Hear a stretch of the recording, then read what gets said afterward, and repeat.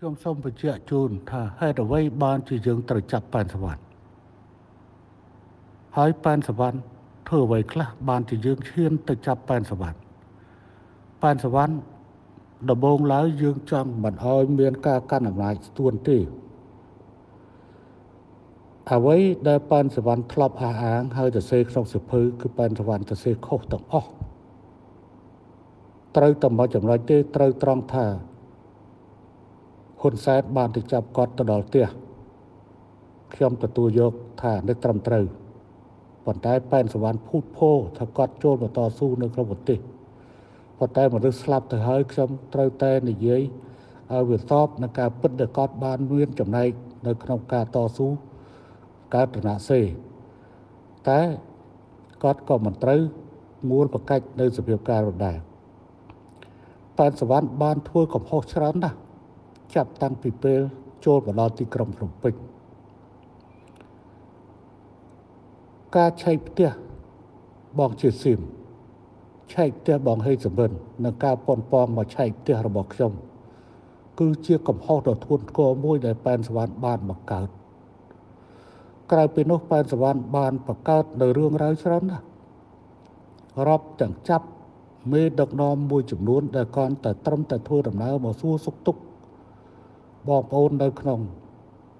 ថ្នាក់ដឹកនាំដូចជាបងហេសបិនបងជាស៊ីមឬក៏ខ្លួនក្រុមនៅក្នុងទីក្រុងភ្នំពេញក៏ជួបលំបាកដោយសារប៉ែនសវណ្ណប៉ុន្តែយើងចេះតែអធិស្ឋានអប់រំគ្នាធ្វើការជាមួយគ្នាអ្វីដែលជាប៉ែនសវណ្ណធ្វើខុសខ្លាំងពីនេះគឺធ្វើឲ្យបងប្អូននៅភូមិភាគបូព៌ារត់ចូលព្រៃមួយចំនួនធំ មួយចំនួនមិនថាធំទេមួយចំនួន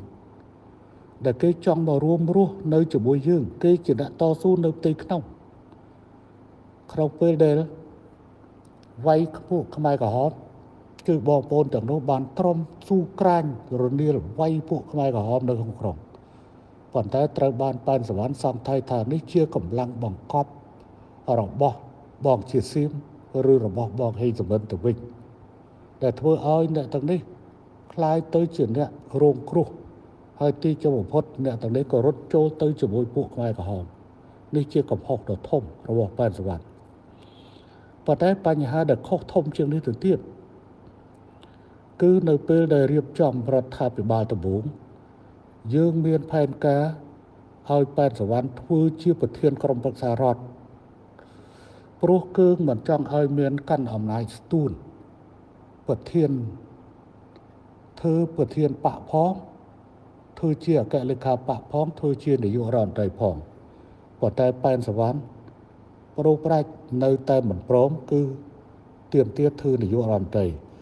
យើងក៏សម្ដោសម្បូរគ្នាហើយខ្លួនខ្ញុំហើយដើរតួជាអ្នកសម្របសម្រួលជាមួយបងសាយបុថងដើម្បីឲ្យប៉ែនសវណ្ណបានទទួលតំណែងជាប្រធានអគ្គលេខាបកផងហើយធ្វើជានាយករដ្ឋមន្ត្រីផង